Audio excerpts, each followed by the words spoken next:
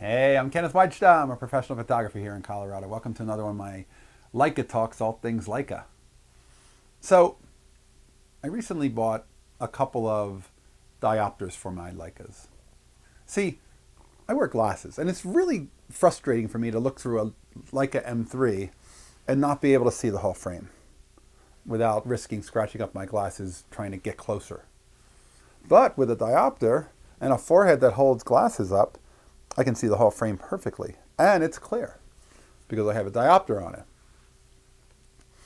There was a eBay sale where a camera store, I think it might have been Midwest Camera, they had two available minus 2.0 diopters, which is my prescription.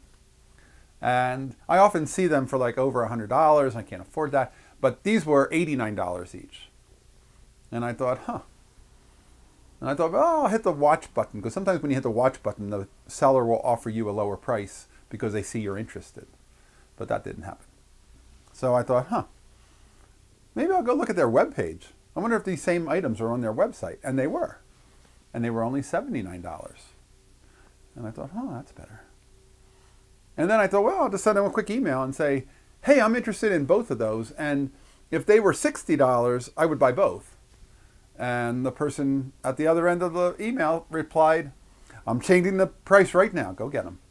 And so for $120, I ended up with two diopters for my Leicas.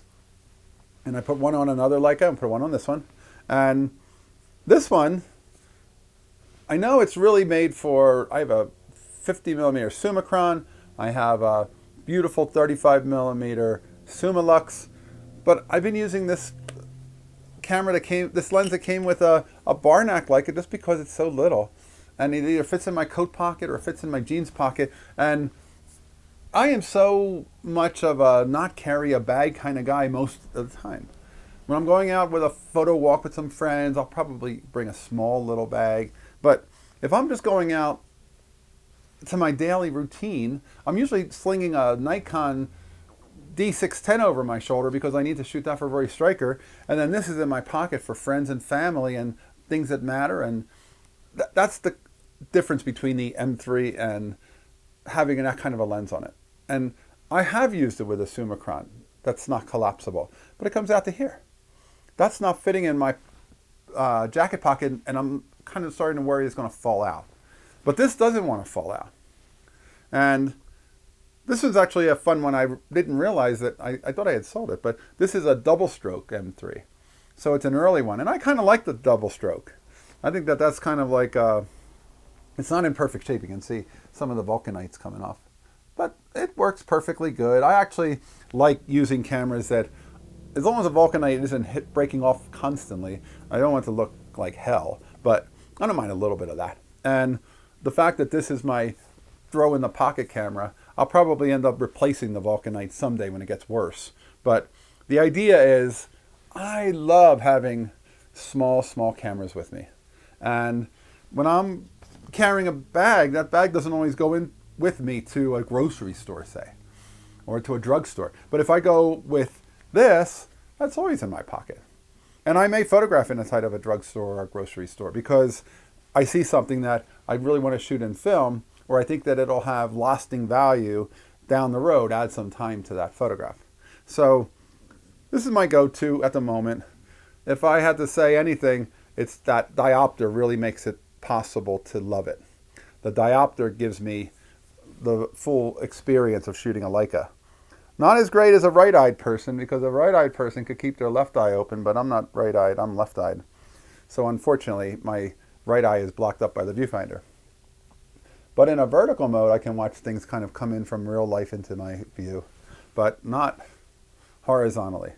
But having that diopter, to me, is a life changer in how I use this camera. I also have a thing where I'm constantly tightening it on just to make sure it's not working itself loose. I'm going to lose it because it's just, you know, a, a, a screw-on mount. And when people talk about the latest Nikon mirrorless and they get all, you know, enamored by that. I'm like, you know what? This is all I really need. I shoot the Nikon digital for street and for my Roy Stryker, but this is really all I need. And certainly I take out other Leicas. I take out a Nikon S4 sometimes when I just want to try something, you know, work with something different. But this is the go-to pocketable camera the last month anyway. And I talked about on a Saturday show the photo game, and it's one of these projects where I have to shoot a photo a week. So this stays in my pocket because I might come across something that uh, fulfills that assignment too. That's another good reason to have a film camera in pocket, not in a bag, not in a case, not at home. Doesn't do you any good. So anyway, I love small collapsible lenses. And I'll tell you, a 3.5 on a 50, 50 millimeter lens with a 3.5, that is, you would say too slow. You would say, you know what, it's kind of slow to have a 3.5 only. And I've been photographing inside of houses at a eighth of a second and a fifteenth of a second if I ask people to hold still. I've been shooting at night. I shot a, a reflection off of a motel sign off, off of a windshield. You can hold this. 3.5 will get you a lot because of the simplicity of the way it works without the mirror slap.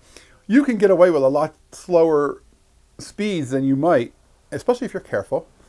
And the difference between this and an F2 is just sizeability. And I don't want that size in my pocket. So for me, that 3.5 is not too slow. You would think that, oh, it definitely would limit you what you can shoot. And it's like, you can't. I've actually I was in a really, really dark place with some friends at a, a, little pub. And they were sitting with their back to the light, so they were completely dark as I was looking at them. So I put my hands on the table and I said, just hold real, real still, and I will too.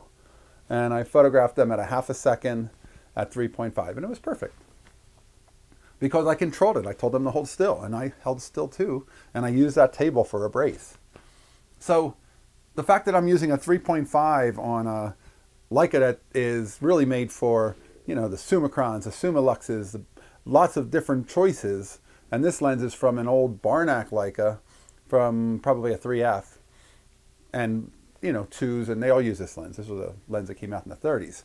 That is a great example of when you have a quality lens and you work with good technique, you don't need it to be an, a 1.4 to create photographs. And I'm not even using a meter, I'm just guessing. If I'm anywhere where I am not sure if it's going to be enough exposure. I'll just give it a little bit more. And I know Sunny 16 outside really well, and I know inside you shoot wide open as slow as you dare. Those are the two rules I use.